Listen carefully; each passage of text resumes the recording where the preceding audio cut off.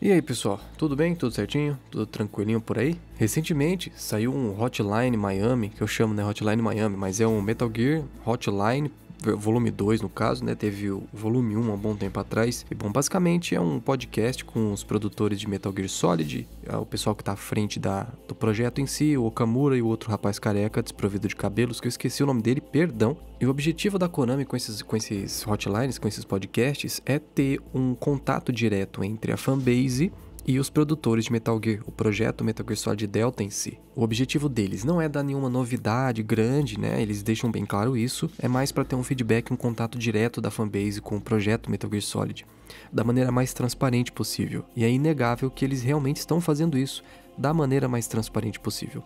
E é interessante também observar que em uma parte do Hotline, parte 2, eles até escolhem perguntas feitas pelos fãs que não têm resposta. E mesmo assim, eles querem responder. Eu não vejo nenhum sentido nisso, até porque é uma, é uma atitude louvável, eu acho interessante de, deles quererem mostrar essa transparência, mas se for só para apontar uma falsa virtude, não faz o menor sentido, entendeu? Eles é, escolheram perguntas que não têm resposta e eles tentam responder lá mesmo sem elas ter uma resposta.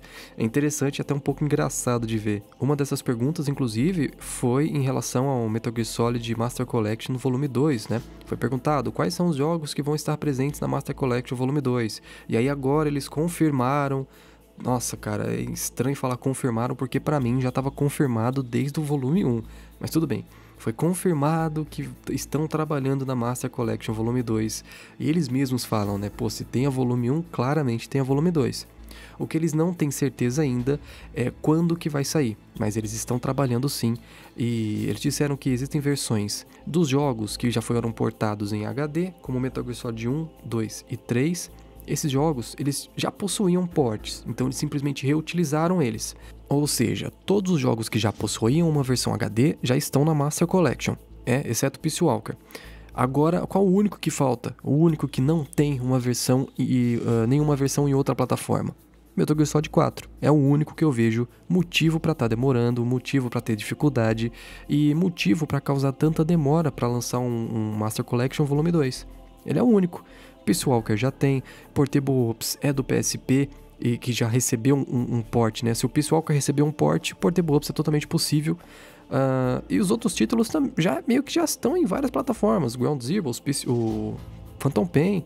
Então, o único que eu vejo dificuldade, de fato, é o Metal Gear Solid 4. Então, isso já é um comprovante para mim, já é um grande indício de que ele estará na, na Master Collection Volume 2. Se não fosse por ele, nós já teríamos uma Master Collection Volume 2, com os jogos facilmente portáveis. Eu tenho certeza. Eu ouso dizer também que eles estão fazendo alguma coisa em relação ao Metal Gear Rising, porque eles pediram desculpas, né? Falaram que foi lançado o Metal Gear Rising para as lojas digitais lá no Japão, que não tem o Metal Gear Rising no Japão, não sabia disso, impressionante. Mas saiu, né, nas lojas japonesas, a galera estranhou pra caramba, depois eles tiraram do ar, eles explicaram que foi um erro e tudo mais, pediu desculpas. Então eu acho que eles estão tentando fazer alguma coisa nova com Metal Gear Rising, nem que seja um port remasterizado dele, que vai sair inclusive no Japão. É um chute, isso é um chute meu. Mas claro que eles não deixaram nada claro, eles disseram que não tem nada ainda a declarar sobre Metal Gear Rising, nenhuma novidade, tá? Isso aí é especulação minha. Beleza, agora em relação ao Delta em si, uh, eu tô empolgado ainda com o projeto, eu acho que o projeto ele tomou o caminho que eu mais gostaria que ele tivesse tomado, eu acho que foi um acerto, esse lance do escolherem ser fiéis, foi um acerto. Né? Os erros que eles já disseram que não tem como arrumar, eu já aceitei, porque se eles disseram que não tem como arrumar, né? A gente vai fazer o quê? Entrar dentro da Konami e obrigar os caras a trabalharem?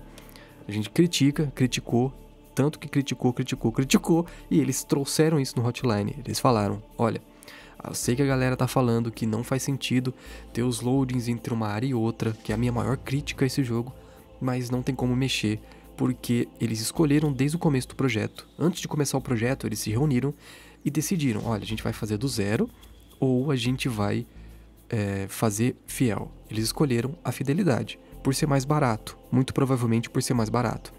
Né? Eles só não fizeram isso com Silent Hill 2 Remake porque não tinha como. Metal Gear Solid ele é muito à frente do tempo do ponto de vista cinematográfico. Eles podem dizer que ah não foi porque a Bluebird ela tinha mais é, ela tinha expertise em jogos de survival horror, então eles fizeram do zero porque eu não, eu tenho certeza que se fosse tão bom quanto Metal Gear Solid 3, tecnicamente falando, não tô falando de história, nem enredo, nem nada, tecnicamente, eles teriam refeito uh, fielmente também, eu não tenho dúvida disso. Mas Metal Gear Solid 3 é mais aceitável atualmente, né? Apesar de ser um jogo de vários e vários anos atrás, lá da época do PlayStation 2. Funciona. E para mim, foi um acerto. Só de imaginar o Okamura, que dirigiu Portable Ops, redirigindo Metal Gear Solid 3 de novo, ai, sinto vontade de de, de, olha, vou nem falar nada, viu? Mas, pô, se eles pegam e faz Metal Gear 3 do zero, não iria sair coisa boa dali. não iria, meus parceiros, confiem em mim. Agora, a parte que eu critico muito, a parte que eu mais acho feio, é você prestar atenção no Delta, naquela gameplay que eles soltaram, e, e perceber que a parte boa do remake é, é a que já estava lá é o que já era original feito pelo Kojima e a Kojima Productions na época.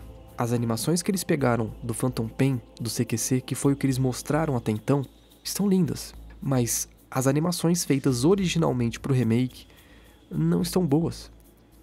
Ele caminhando está extremamente duro. Ele ainda para na mesma posição da época do PlayStation 2, com as mãozinhas juntinhas ali. Gente, não precisa isso, entendeu? É, falar que isso daí é seguir porque quer preservar a ideia original, não faz sentido, porra. Animações, atualizar a animação, que, que tipo de animação de gameplay que vai tirar a originalidade do Delta? Pelo amor de Deus. Não estraga o jogo, é só um detalhe, mas é, é uma coisa que me incomoda. Eu gosto de. Quando, quando eu vejo o jogo e ele tem animações bem feitas, passa uma sensação de capricho muito boa, cara. Animações bonitinhas, bem feitinhas, fluídas, dá uma sensação gostosa de você estar tá jogando aquele jogo e a sensação de os movimentos do movimento dos personagens não serem travadas extremamente duras entre uma animação e outra. Ter aquela transição suave. Caraca, você viu essa animação dele voltando? Tipo, você tá agachado, aí você quer voltar para trás em pé. Olha. Olha. Que gostoso, animação fluida.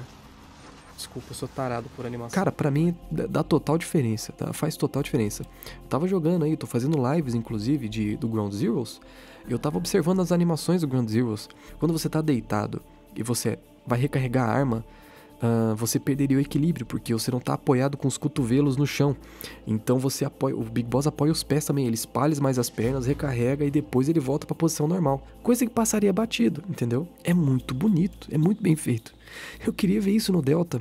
Nossa, ó a minha voz sumindo. Já que eles não estão implementando nada de novo, o que eles estejam fazendo, seja lá o que for, além de trocar o gráfico do jogo, que seja bem feito, que seja o que a mão de obra deles, o brilho do, do remake, que seja um brilho bonito, pô. Entendeu? Já não tem nada de novo. Façam as animações bem, feitas, pelo menos, pô. Pelo amor de Deus, cara. Vamos ver se as reclamações da comunidade vai fazer com que eles dêem um jeito nos loadings. Pode ser que sim, porque não. Embora eles tenham deixado bem claro que não vai ser possível, porque eles. Né, já expliquei várias vezes. Mas pelo menos as animações, velho. Para. O negócio tem que ser bonitinho, perfeito, pô. Pelo amor de Deus. Um jogo tão foda desse aí, com as animação dura daquela, só mexe a parte de baixo, do, só as perninhas assim, ó, correndo, e a parte de cima toda dura. Gente, aquilo ali precisa ser atualizado, pelo amor de Deus. Bom, também foi mostrado aí o início, né, a primeira, a primeira cutscene do jogo, a parte que a gente não tinha visto ainda. Não é nada demais. Eu acredito que o, que o ground, eu acredito que o gráfico sofreu um pequeno downgrade, mas ainda tá excelente, tá muito bonito. E eles confirmaram presença na TGS, e que vai ter uma demo pra galera jogar. Muito, muito provavelmente vocês já sabiam disso, né? Tô só falando aqui só pra, só pra falar. Às vezes a galera pergunta, pô, você acha que a demo vai sair pro público? Eu acho que sim. Também foi explicado que eles vão deixar essa, essa demo como um experimento, né? Dependendo do feedback da, dos jogadores, coisas poderão ser mudadas. Segundo ele, dependendo do feedback, algumas coisas vão poder sim sofrer alteração no, na versão final do jogo. Espero que eles ouçam e realmente façam. E o que eles estão cumprindo mesmo, né? Não tem muito que bater na Konami nesse aspecto que eles realmente estão fazendo. Assim como Silent Hill, a galera reclamou, foram lá e consertaram. O engraçado é que quando Metal Gear Solid 3 foi mostrado, o Delta foi mostrado a primeira vez, todo mundo ficou incrivelmente feliz porque o gráfico estava excelente. Então, tudo que eles mostraram foi os melhores, as melhores coisas do Delta. Entendeu? Mostrou o CQC que tá bonito, o gráfico que tá excelente.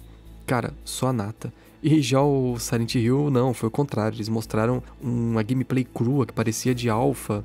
Gráficos esquisitos, cabelo da menina lá sem física, da Laura, todo estragado, todo estourado na calçada.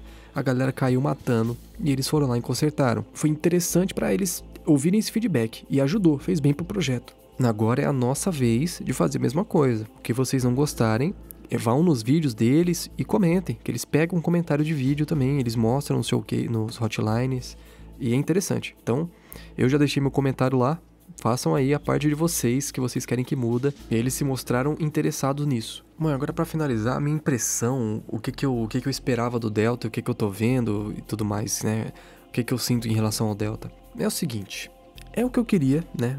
O Delta é basicamente tudo que eu sonhei, que é um Metal Gear Solid 3 atualizado. Eu sempre quis um, uma parada assim, para mim poder ter aquela vontade de jogar sempre, assim como eu tenho com Ground Zeroes, por exemplo, que eu tô jogando recentemente, tá fresco na memória, mas o Metal Gear 5 e o Phantom Pain, Metal Gear Phantom Pain e o Ground Zeroes, eles têm um fator replay muito gostoso, cara. É, a gameplay deles é muito gostosa.